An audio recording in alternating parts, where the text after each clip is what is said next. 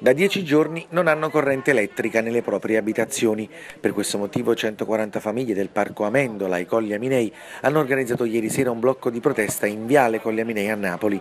Per più di un'ora hanno paralizzato il traffico nel Rione Alto costringendo la Polizia Municipale a deviare le auto verso la zona ospedaliera. Il rione è senza corrente da più di una settimana perché nel passaggio di consegne tra l'IACP e il Comune di Napoli nessuno ha provveduto alla stipula di un nuovo contratto e per questo motivo l'Istituto Autonomo Case Popolari ha staccato i contatori lasciando le 140 famiglie senza corrente elettrica. Allora questa è una situazione praticamente di, di un contenzioso nato tra, le, tra questo, questo parco che è stato lasciato dall'IACP al Comune di Napoli.